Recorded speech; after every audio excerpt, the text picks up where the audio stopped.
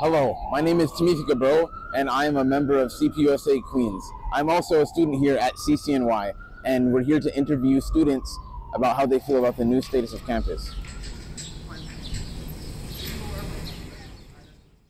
Well, first, I'd like to ask, how do you feel about the encampments initially?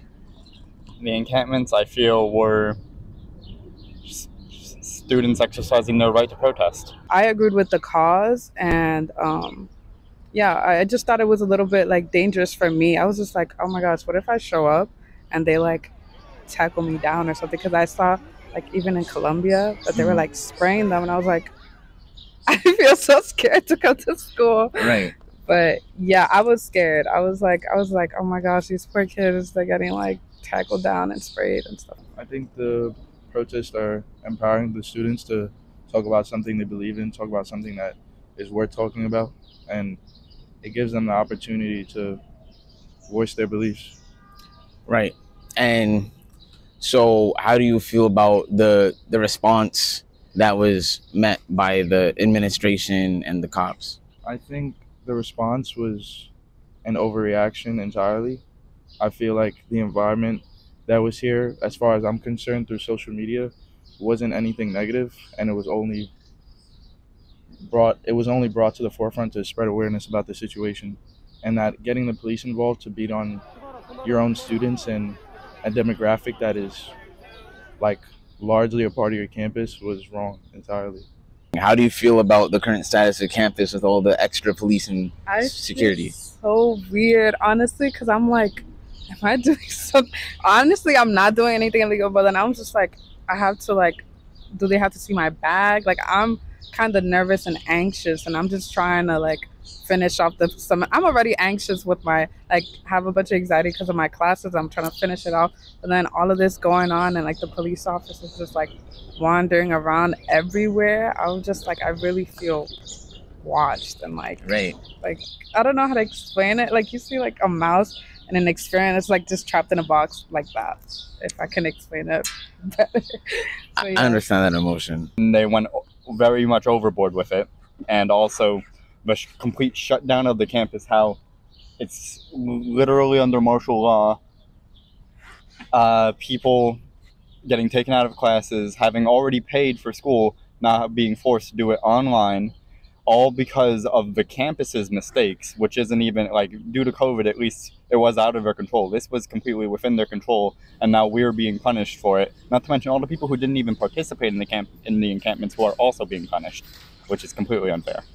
Uh, I feel like it hasn't. I have a lot of stuff I need to talk with, like with professors and teachers, and it's honestly just making it harder for me to reach out to my my professors and my teachers. It's not allowing me to connect with them, talk about my classwork, my feel like my future career goals, stuff like that. Like there's important conversations I need to have, and shutting down the campus has just not allowed me to.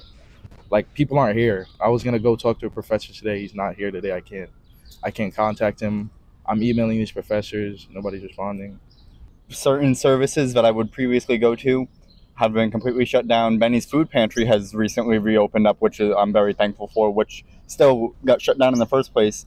I and my family, we were not able to eat for some days. Luckily, we had water, but I'm just saying, so many people rely on things at the campus, and this complete shutdown, I feel, is unwarranted and just meant to try and make people forget about everything rather than actually face the problem. you should allow you should be able to allow students to voice their opinions and still have students come to class and be aware of what's happening in the world. I feel like it's a sort of censorship in a sense that you can't have people going to class come to come to class because these are real world real world event real real world events that are happening. It's not like you can just shield people from not learning about the truth. I thought it was like this country is all about like freedom of speech and freedom like to like say your voice but obviously they were doing it peacefully so i'm wondering if like any protest would be happening and then the police officers i feel like i wonder are they going to be coming when like the full uh like body group of students come would they be more police officers and would it be like more strictly like everywhere i don't I, that's what i was thinking about too so yeah i was just like thinking about more students coming? Are there gonna be more police officers? Or yeah. I, I wouldn't prefer more police officers, honestly, because that would just make me really anxious and I don't want like to be attacked even though we're I'm just coming to school. I'm just Right. trying to I'm just coming to learn. I don't want to feel like anxious to come to school.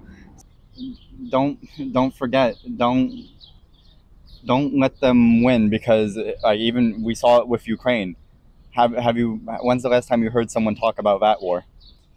People forget things. People move on. Don't move on. Keep fighting for what you believe in. I think it's a real injustice that's happening over there, and hopefully that is resolved soon because it's so sad. I really, I just thinking about it, it makes me cry because I can't imagine my family going through something like that. Or yeah, I think, um, obviously, from the working class angle, that a lot of these students and a lot of these faculty understand that um, the police aren't there for our security and that we need to unify ourselves and organize around getting um, these police off our campus and also getting the demands that we asked for initially as a CCNY community against Palestine, or uh, well, against uh, the Israeli state for Palestine.